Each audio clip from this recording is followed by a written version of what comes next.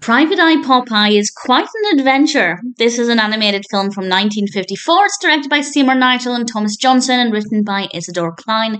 And we have a voice cast including Jackson Beck, Jack Mercer, and Mae Questel.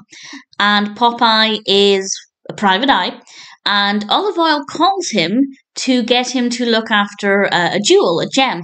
And Unfortunately, something happens to this gem and also to Olive, and Popeye has to try and retrieve it.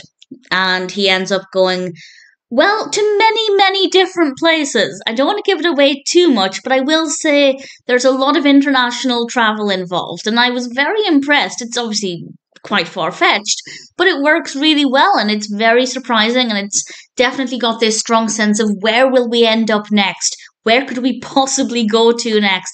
And a lot of the places are, are quite surprising, and they managed to pack a lot of action into a very short space of time. It's also really interesting to see these different locations being animated. Not that there's a tremendous difference in the animation between them, but it's still really good fun to see.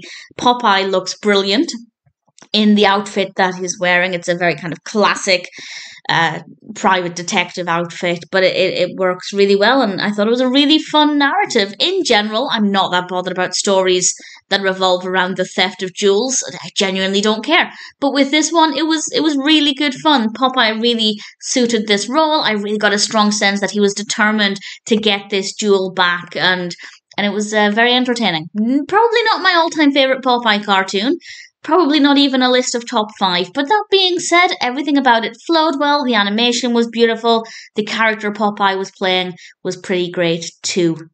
So if you haven't seen it and you're a fan of Popeye, then Private Eye Popeye is definitely one that I'm very happy to recommend.